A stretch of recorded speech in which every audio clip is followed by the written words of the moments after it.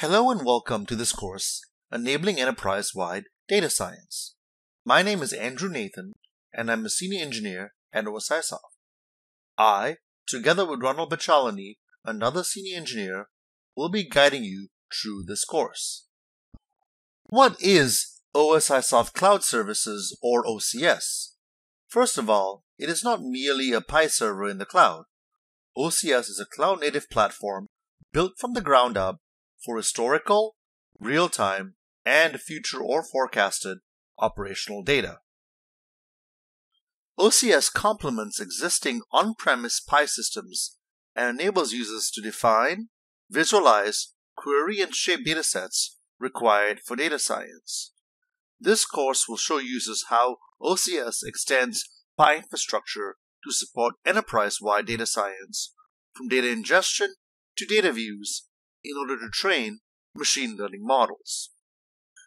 This slide shows the Pi system components we will use in this course, which will be the Pi Data Archive, Pi Asset Framework, and OCS. What is the goal of this course? The question is, can we accurately predict wind farm active power from weather data? This capability is essential for every wind operator as having a reliable forecast helps them manage their portfolio of power generation resources in order to meet the forecasted demand. In order to answer this challenge, we will first analyze wind turbine data in an on-premise Asset Framework database, and then stream the required Pi points from the Pi Data Archive to OCS via the Pi2OCS agent.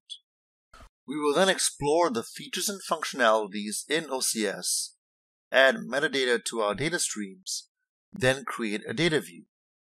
We will then access this data view programmatically in a Jupyter notebook using REST API and use this dataset to train, test, and evaluate a machine learning model.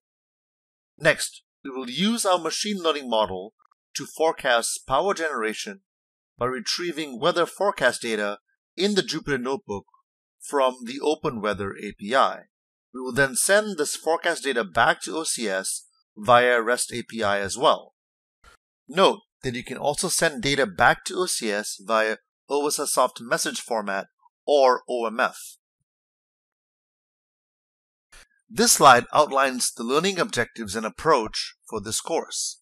First, we will explore OCS learn how to analyze and visualize data in OCS, discover how to add metadata and create data views, gain experience with OCS data in a Jupyter notebook using Python, practice filtering data for machine learning, learn to use a machine learning model, discover how to retrieve weather data from the Open Weather API, and finally understand how to send data back to OCS.